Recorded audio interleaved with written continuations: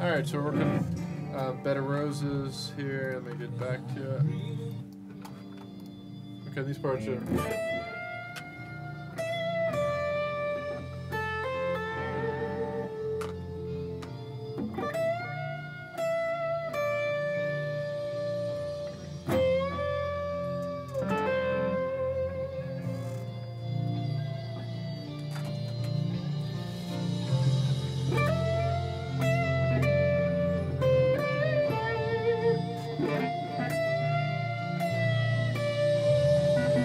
Was a 10 10 10.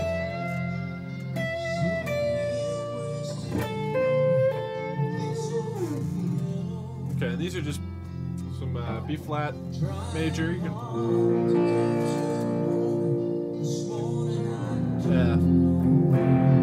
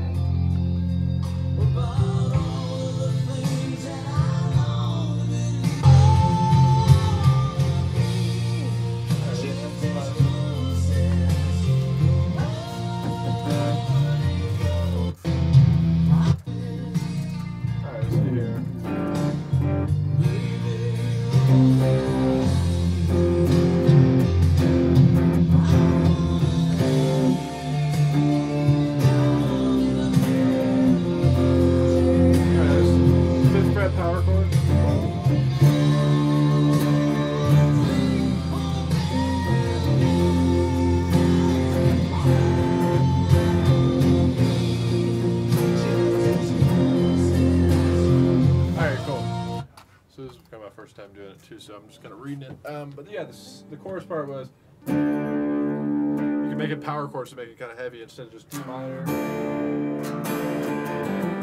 are the chords C, and then go power chord fifth fret, third fret,